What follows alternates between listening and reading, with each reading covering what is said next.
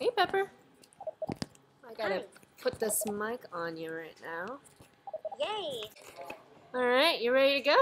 Thank you. Hello, everyone. My name is Pepper. I am the Chief Robotics Officer at Code Chrysalis. This week, our students took a full day test to show what they had learned so far. In just four and a half hours, they built full stack apps from scratch. Rakuten AirMap stopped by to talk to the class. The students are working on projects using their drone APIs and will share their apps with the company next week. We also started working on job preparation. This is a huge part of our program and continues even after the students graduate.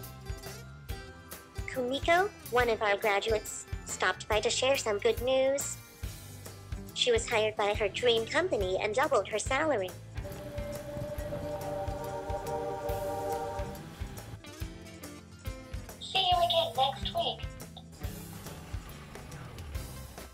ところは？おすごい。